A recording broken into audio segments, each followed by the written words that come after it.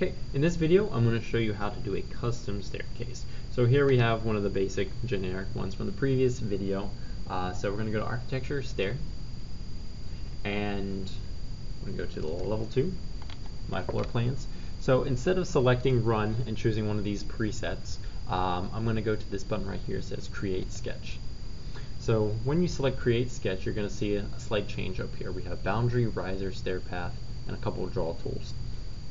So what boundary is, is you're going to draw the left and the right side of your staircase. These are going to be symbolized using green lines. Uh, risers are going to be black, um, and the stair path is going to be blue. So let's just start off with the boundary. So I'm going to create a nice curved staircase. So I'm going to start here at the second floor, and I'm going to, I'm using this other staircase as reference. So I'm going to create this curve, and then I'm going to come to about here with my other curve. Um, see here, I'll go like that. So that's a little unique shape. So I'm going to use a line as my mirroring plane. So I'm going to use, so I'm going to use the mirror tool. I'm going to uh, left click on my line, hold control, left click again to select both, press the space bar, select my mirror plane, and there I have my new lines. So for the left and right side or right and left side.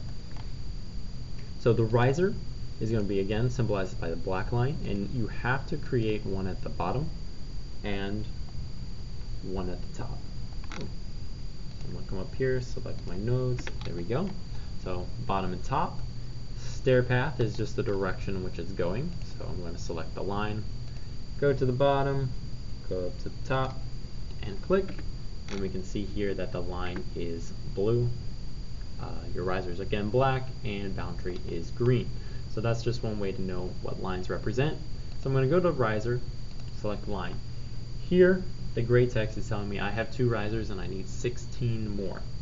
So instead of drawing in every single line I'm going to use my offset tool here in modify and change it to 11 inches 11 inches why is that doing that? Okay, so 0 and then 11. Okay, 11 inches. So I'm going to take my cursor, make sure I'm on the right side of my riser. I can see that by the dotted blue line. And click, and I'm just going to continue along until I have all the risers I need. I have four more left, three, two, one remaining. There we go. It doesn't matter if your riser lines exceed your boundary line. It doesn't it doesn't matter. It doesn't come into play. So I'm happy with what I have here. So I'm going to hit the green check mark. I can go into my 3D view and whoops, my staircase is going the wrong direction. So if I select my staircase, go to edit sketch, whoops, actually let me back out, went too far all I have to do is select flip. So once you select your stairs, I'm going to click flip, and it now flips the staircase so that way it's correct. And I'm going to hit my green check mark to confirm, and it will now add in the railing uh, to my staircase. So as we look here, we have the custom staircase that I built. Of course, it's a little thin here, but uh, besides the point, and it adds in the railing Again, you can always choose to change the railing to something else. Um, the railing is not continuous, it breaks, the rail usually uh, occurs at sharp angles. Okay, um, so all that's saying is in some cases, depending on your design, the railing might have, it might break because it can't, the program doesn't want to create the angle. So for example, like right here, how the railing comes up. Um, and one thing I forgot to show in the last video is when you select a railing,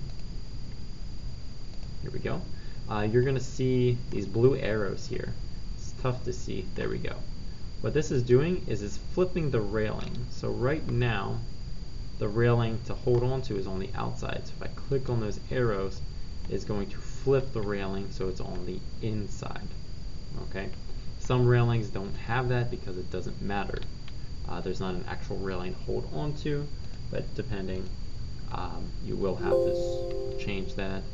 Okay, railing is not continuous again, thank you. Um, it's going to hit the red X, but it looks like it did a pretty good job. So that is how you create a custom staircase.